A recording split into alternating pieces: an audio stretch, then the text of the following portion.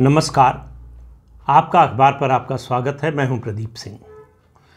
आपने कभी देखा होगा मतलब आँखों देखा तो नहीं, दृश्य होगा, लेकिन फ़िल्मों में देखा होगा डॉक्यूमेंट्रीज़ में देखा होगा, किताबों में पढ़ा होगा कि जब कोई सेना युद्ध हार जाती है, हार कर भागती हुई सेना अपने पीछे और बड़ा उत्पाद करती हुई जाती है। वो हिंसा करती है, आगजनी, लूटपाट, इस तरह का काम करती है। आज का जो विपक्ष है भारतीय समाज का, भारतीय राजनीति का, वो उसकी स्थिति कुछ उसी हारी हुई सेना की तरह है, जो जिसे पता है कि वो युद्ध जीत नहीं सकती। तो इसलिए वो विध्वंस के रास्ते पर जा रही है। तो विध्वंस के लिए प्रयोगशाला बनाया गया है बिहार को। बिहार को प्रयोगशाला बनाया जा रहा है जातीय उन्माद फैलाने के लिए। जाति में देश को विभाजित करने के लिए, समाज को विभाजित करने के लिए। सनातन धर्म के विरोध से शुरू किया प्रयोग ये। पहले आपको याद होगा कि बिहार के शिक्षा मंत्री चंद्रशेखर ने रामचरित मानस पर कीचड़ उछाला। उत्तर प्रदेश से उनको सहायता मिली, स्वामी प्रसाद मौर्य ने वही काम किया, अखिलेश यादव ने करवाया उनसे। दोनों ने देख लिया कि इसका फ़ायदा नहीं हो रहा है। तो उनको लगा कि फॉल्ट लाइन असल में क्योंकि हिंदू हिंद, सनातन धर्म पर आप आक्रमण करेंगे सनातन धर्म के लोग बहुत ही सहिष्णु होते हैं। तो उस तरह से रिएक्ट नहीं करेंगे जिस तरह से आप इस्लाम या क्रिश्चियनिटी पर हमला करेंगे तो उसका जवाब जैसे मिलता है वैसे जवाब नहीं मिलेगा। तो उनको बड़ी निराशा हुई तो उनको लगा कि फॉल्ट लाइन ज़्यादा कहाँ है? तो उन्होंने कहा जातियों के बीच में है। जातियों को अगर भड़काया जाए आपस में लड़ाया जाए तो अगर समाज जाति में बटेगा तो सनातन कमज़ोर होगा। तो जो धार्मिक अस्मिता है, वो कमज़ोर होगी। तो धार्मिक अस्मिता कमज़ोर होगी तो बीजेपी और नरेंद्र मोदी कमज़ोर होंगे। भारत देश कमज़ोर होगा, इससे उनको कोई मतलब नहीं है। देश और समाज की चिंता उनको बिल्कुल नहीं है। देश और समाज की चिंता होती तो इसकी चिंता करते। तो इस जातीय उन्माद को फैलाने के लिए एक संवैधानिक तरीका खोजा गया, दूसरा राजनीतिक तरीका खोजा गया। संवैधानिक तरीका खोजा गया है जातीय गणना की बात करके। बिहार में हो रही है, कर्नाटक करा चुका है। अपने पिछले कार्यकाल में सिद्धारमैया ने कराया था। और इसके अलावा कांग्रेस पार्टी ने जब 2004 से 2014 तक केंद्र में सत्ता में थी तो उसने भी कराया था। दोनों ने, याद रखिए, दोनों ने जो गणना हुई उसके परिणाम की घोषणा नहीं की, उसे सार्वजनिक नहीं किया। लेकिन सत्ता से बाहर जाते ही गणना की मांग करने लगे। तो बिहार में गणना हो रही है। पहले हाई कोर्ट ने रोका, फिर फिर परमिशन दे दी, उसके बाद सुप्रीम कोर्ट में मामला गया, सुप्रीम कोर्ट ने कोई रोक नहीं लगाई। तो अब इनको लग रहा है कि इसके ज़रिए जातीय उन्माद पैदा किया जा सकता है और जातीय उन्माद पैदा करके मंडल का जो जो दौर था उसको लौटाया जा सकता है। ये बात ये भूल जा रहे हैं कि जिनके लिए कर रहे हैं, उनको ये खेल समझ में आ चुका है। खेल समझ में ये आ चुका है कि मंडल आयोग की सिफारिशें लागू होने के बाद पिछड़ा वर्ग में जो अति पिछड़ा वर्ग है, जो जो संख्या की दृष्टि से छोटा है, उसको कोई लाभ, उस आरक्षण का मिला नहीं। उस आंदोलन का कोई लाभ उसको पहुँचा नहीं, पूरा लाभ ले गई ऊपर की दो तीन चार जातियाँ। और उन, उनको मालूम है कि उनके साथ वही हो हो रहा है जो पहले होता रहा है। उनको इंतज़ार करना पड़ा 25 साल, पूरे 24-25 साल एक नरेंद्र मोदी के आने का कि वो आएँगे और अति पिछड़ों को उनका अधिकार दिलाएँगे। क्या अधिकार दिलाया? उनको संगठन में भागीदारी, हिस्सेदारी दिलाई। उनको सरकार में प्रतिनिधित्व दिलाया और सरकार में हिस्सेदारी दिलाई। और विभिन्न सरकारी योजनाओं के ज़रिए उनके जीवन स्तर में बदलाव लाने का काम किया। ये ये सब ज़मीन पर हो चुका है। ऐसा नहीं, ये वायदे के स्तर पर नहीं है। ये ज़मीन पर उतर चुका है। अब उससे मुकाबला कर नहीं पा रहा है विपक्ष। तो उनको लगता है कि अगर अगर अगर आप खेल में जीत नहीं सकते हैं तो खेल को होने ही मत दीजिए। खेल को बिगाड़ दीजिए। पूर्वी उत्तर प्रदेश में कहावत है, न खेलम, न खेले देव खेलवे बिगाड़ब तो मतलब न खेलेंगे, न खेलने देंगे, खेल बिगाड़ेंगे। तो खेल बिगाड़ने के लिए इस बात की चिंता किए बिना कि इसका समाज पर, देश पर क्या असर पड़ेगा, देश और प्रदेश की प्रगति पर क्या असर पड़ेगा, इस सब की चिंता किए बिना कोशिश हो रही है जातीय उन्माद भड़काने की। और उसमें देखिए किस तरह किस तरह की मतलब दुर्भाग्यपूर्ण स्थिति ये देखिए कि मनोज झा जो राज्यसभा के सदस्य हैं, विश्वविद्यालय में प्रोफेसर हैं, उनको विद्वता का सर्टिफिकेट कौन दे रहा है? लालू प्रसाद यादव जो चारा घोटाले में सजा याफ्ता है। और साहित्य की विवेचना साहित्य की मीमांसा कौन कर रहा है? आनंद मोहन। जो एक आईएएस अधिकारी की हत्या के आरोप में सजा काटकर अभी लालू प्रसाद यादव और नीतीश कुमार की कृपा से जेल से बाहर आए हैं।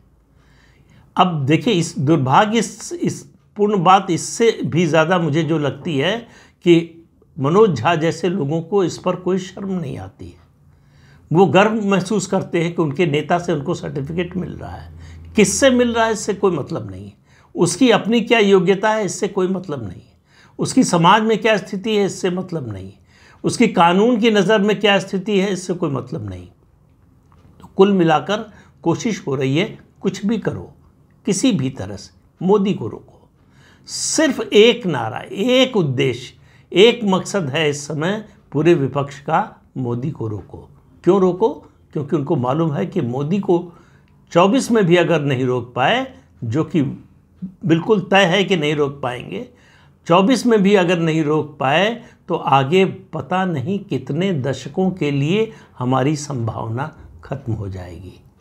तो बिहार में जातीय फॉल्ट लाइन ज़्यादा है तो इसलिए बिहार को चुना गया कि यहाँ से जाति का उन्माद फैलाओ। यहाँ पर जातीय हिंसा कि जाति की अस्मिता आक्रामक रूप से सामने आए, इसकी कोशिश हो रही है। तो कभी ठाकुर ब्राह्मण को लड़ाया जा रहा है, कभी अगले पिछड़े को लड़ाया जा रहा है। तो ये ये ये लड़ाई आप जैसे जैसे 2024 नज़दीक आएगा, आप देखेंगे कि इस, इसका जो है अनुपात बढ़ता जाएगा इसका प्रयास जो है वो बढ़ता जाएगा। और अफसोस की बात यह है कि बिहार में सुशासन बाबू का खिताब पाने वाले नीतीश कुमार इसमें बढ़ चढ़ कर हिस्सा ले रहे हैं। अब अब जरा राजनीतिक गणित को भी समझिए। जेडीयू और आरजेडी कांग्रेस और लेफ़्ट पार्टीज़, इनका गठबंधन होने के बाद बिहार में ये गठबंधन अजय होना चाहिए। इसको किसी नकारात्मक शक्ति की या न, किसी नकारात्मक प्रतिक्रिया की या किसी न, नकारात्मक एक्शन की कोई ज़रूरत ही नहीं थी। लेकिन उसके बावजूद क्यों कर रहे हैं? क्योंकि अंदर से डरे हुए हैं, अंदर से कमज़ोर हैं। मालूम है कि ये गणित जो है, ये गठबंधन का जो गणित है, वो गणित की दृष्टि से तो दिखाई दे रहा है कि बड़ा मज़बूत है। लेकिन वो ज़मीन पर तो वो रसायन बनेगा या नहीं, ये तो मतदाता तय करेगा। मतदाता इसके बारे में क्या सोचता है, इससे तय होगा कि चुनाव में इसका क्या असर पड़ेगा। इसी असर से डरे हुए हैं। डरे हुए क्यों हैं? उनको मालूम है कि बिहार में बीजेपी के पास लीडरशिप नहीं है। लेकिन मैं लोकसभा चुनाव की बात कर रहा हूँ इस समय। लेकिन लोकसभा चुनाव की दृष्टि से उनको मालूम है कि बीजेपी के पास जितना बड़ा लीडर है, उससे बड़ा पूरे देश में कोई नहीं है। और बड़ा लीडर, लोकप्रिय लीडर होने के अलावा जो चुनावी राजनीति में सबसे महत्वपूर्ण बात होती है, नेता की विश्वसनीयता, उसकी साख। तो नरेंद्र मोदी की आज जो विश्वसनीयता है, जो साख है वो इस समय देश में और किसी नेता की नहीं, प्रदेश में भी नहीं, पूरे देश के स्तर पर, राष्ट्रीय स्तर पर भी नहीं। अब इसको इस बात से समझिए कि विपक्ष का के सारे दल इस बात से चिंतित और डरे हुए रहते हैं कि कहीं राहुल गांधी को प्रधानमंत्री पद के उम्मीदवार के रूप में कांग्रेस सामने न पेश कर दे। उनको मालूम है कि जैसे ही अगर राहुल गांधी को प्रधानमंत्री पद के उम्मीदवार के रूप में प्रधानमंत्री नरेंद्र मोदी के सामने पेश किया गया, लड़ाई शुरू होने से पहले ख़त्म हो जाएगी। मैच शुरू होने से पहले ख़त्म हो जाएगा, ये एक तरह का वॉकओवर होगा। तो विपक्ष की कमज़ोरी का अंदाज़ा लगाइए। इसलिए वो किसी भी हद तक गिरने को, किसी भी हद तक जाने के लिए तैयार हैं। उनको लग रहा है कि कुछ भी करना है, कैसे भी करना है, ये ये कानून की, नीति की, समाज की, देश की, ये सब चिंता बाद में कर लेंगे। पहले मोदी को रोक लो। और इसके इसके लिए जो है चुना गया है बिहार को। उनको लगा है सबसे आदर्श राज्य जो है बिहार है, जहाँ जाति संघर्ष को बढ़ावा दिया जा सकता है या जाति संघर्ष को फिर से उसकी उसकी आग जो है वो सुलगाई जा सकती है। और उसमें सहायक बन रहे हैं मंडलवादी पार्टियों के जो नेता हैं, जिनके बारे में पिछड़ा वर्ग का जो अति पिछड़ा समाज है, वो उनका खेल समझ चुका है। ये हमारे लिए कुछ नहीं करने वाले। उसने देखा है कि पिछले 25 साल में इन्होंने क्या किया? मंडल आयोग की सिफारिशें लागू होने के बाद आरक्षण और उसके अलावा जो राजनीतिक सत्ता मिली, जो सरकार बनी, उसके बाद भी उनकी स्थिति में बदलाव लाने का कोई प्रयास भी नहीं हुआ। होना तो बहुत दूर की बात है। इनकी ओर से कोई कोई इस तरह का प्रयास नहीं हुआ। इस बात को लोग समझ चुके हैं। और पिछले साढ़े नौ दस साल में प्रधानमंत्री नरेंद्र मोदी ने जिस तरह से इस समाज को जोड़ा है, और जोड़ा है अपनी हिंदुत्व की विचारधारा से, जोड़ा है अपनी सरकार की योजनाओं से, जोड़ा है अपनी सरकार की नीतियों से, जोड़ा है अपनी पार्टी की नीतियों से, जोड़ा है मंत्रिमंडल में और संगठन में उनको उचित स्थान देकर। उससे उनको समझ में आया है कि उनका हितैषी कौन है और उनका सिर्फ़ इस्तेमाल करने वाले कौन लोग हैं? ये फ़र्क जो है, इसी फ़र्क को मिटाने की कोशिश विपक्ष कर रहा है और किस, किसी सकारात्मक कदम के ज़रिए नहीं, नकारात्मकता की राजनीति के ज़रिए कोशिश हो रही है। और जो नेगेटिव होता है, उसका अंत नेगेटिव ही आता है। उसका उसका परिणाम जो है, वो नेगेटिव ही आता है, वो कभी पॉजिटिव नहीं आ सकता, सकारात्मक नहीं आ सकता। लेकिन विपक्ष इस समय हताश और निराश है। उसके सामने विकल्प नहीं है। उसे लग रहा है कि अब एकमात्र हथियार जो बचा है, उसके पास वो है जाति का हथियार। जाति की आग इतनी जलाओ कि उसमें सनातन का जो, की जो छतरी बनाई है, प्रधानमंत्री नरेंद्र मोदी ने और भाजपा ने, वो जलकर खाक हो जाए। लेकिन ऐसा होने वाला नहीं। क्योंकि उसको बचाने वालों की संख्या पिछले साढ़े नौ साल में कई गुना बढ़ गई है। वो बीजेपी के वोट शेयर में परिलक्षित होता है। पता चलता है कि बीजेपी का ये जो जनाधार बढ़ा है उसमें सबसे बड़ा योगदान इन इन, इन अति पिछड़ी जातियों के लोगों का है। और उन्हों उन्होंने एक बात को अच्छी तरह से समझ लिया है कि उनका हित नरेंद्र मोदी और भारतीय जनता पार्टी के साथ है। जब तक कि कोई ऐसी पार्टी, कोई ऐसा नेता नहीं आ जाता जो इससे बेहतर करने की कुवत रखता, इससे बेहतर करने की क्षमता रखता हो। तब तक उनके मन पर कोई असर पड़ेगा इन बातों का, ऐसा लगता नहीं है। और यही कारण है, यही लोगों की यही धारणा है जिससे विपक्ष की बेचैनी और ज़्यादा बढ़ जाती है।